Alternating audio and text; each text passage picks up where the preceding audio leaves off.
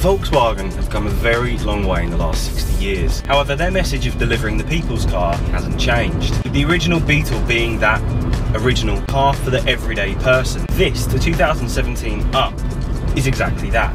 But this is no normal Up. This is a 90 PS variant with a Beats sound system that produces 300 watts of pure audio pleasure. I guess you can say the upshot of a small car is that it's small, but when it comes to equipment, that tends to be a bit of a drawback, and especially my industry. So this is my standard gear test.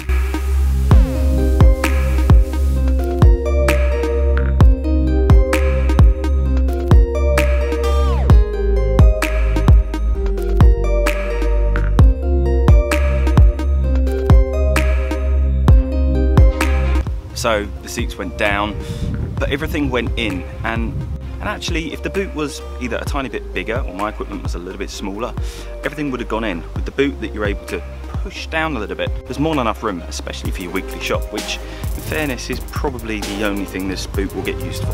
This specific car on the road you can go to a dealer and buy for just above 13,000 pounds. Before that 13,000 pounds you do get things like DAB sunroof you get the Beats exterior styling and of course the amazing Beats interior sound system that colour coordination continues on the inside where that white colour of the main body outside is then continued onto the front face of the dash with some extra Beats audio styling over in this corner. The seats are extremely comfortable. In fact, they're heated and, and actually these are probably the fastest heated seats I've ever had to actually get to full temperature. In about 30 to 40 seconds, your back is sweating.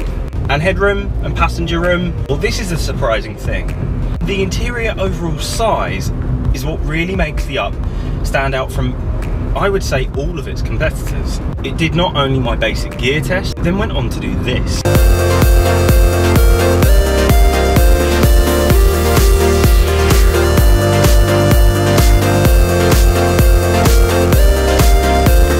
And hey, if double bass isn't your thing, how about a drum kit in the back as well?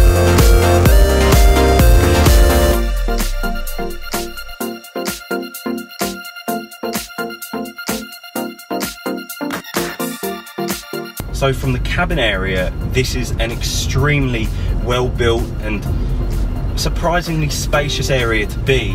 It's quiet on long runs and on two to three hour journeys you don't feel like it's laborious, it's not deafening you. You find it quite easy. Onto the outside and that's where this really does quite well. It's not an ugly car, however they are slightly boxy, that kind of goes with its whole city vibe. However, what this does do very, very well is city driving. You're gonna see around 50 to 55 miles per gallon around town, almost regardless of how you drive. It's aerodynamic to an extent. At 70 miles an hour, you do feel that you are getting a little bucketed by the wind but no more than you would do in anything like an Aygo. It's just one of those small light car things. The gig test, it compromises of a multitude of factors from comfort in driving, fuel economy, weight bearing, puts them all into one. This is a one litre, which technically doesn't have much boost at all, and definitely doesn't have a lot of torque. So I'm wondering how this is going to cope with all my equipment in the back on a, you know, a good 30 mile run there, 30 mile run back. What fuel economy am I going to see?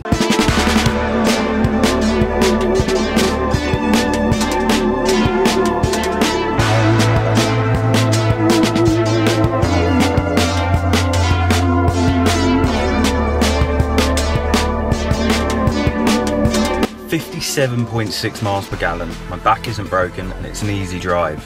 Even on A road, B road, motorways, this fits in, it's not just a city car. And with the Beats edition of this car, you do have the colour coordination outside, which really does make this stand out. However, in a car park, there is a chance you'll lose the car because it's so small. Performance wise, this is a 90 PS engine and it's surprising. Around town, it's definitely one of the nippier cars I've driven but on the motorway you do notice that there is a significant lack of you know top end torque. But that said it's not enough to hold you back. I drove this around the m25 in peak rush hour and at no point did i want for any more power.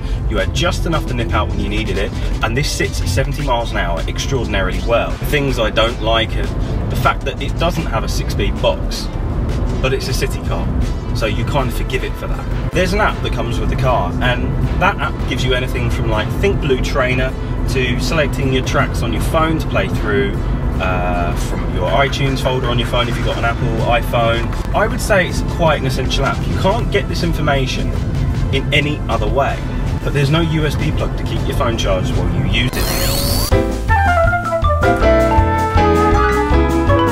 The sound quality is extremely good. While I feel that while it's really cranked up, the bottom end does disappear a little bit, you can sort quite a lot of that out by doing your own custom EQ. But really, this is just a superbly well-built, cheap car. I mean, £13,000 or just above for this on the road, including all your dealer fees and delivery fees and all those bits and pieces. It's an absolute bargain. It's got a low insurance group, it's got a low CO2 output, and it's got a really good safety rating. Overall, I found it extremely comfortable, and on every kind of gig test that I could put it through, it excelled, including over 60 miles per gallon on motorway runs at 70 miles an hour. I can't fault this for what it is and the demographic that it's going for. It's not going to be a perfect business car if you do long trips on the motorway, but if you work around town or you don't do long distances, I don't actually think you can get any better than the Volkswagen Up. My only advice would be that if you were looking at an Up, maybe you want to look at a slightly higher spec. The bottom bottom end spec is bottom end. You don't have any controls on the steering wheel, you have manual heater controls. And for a little bit more, you get quite a lot more.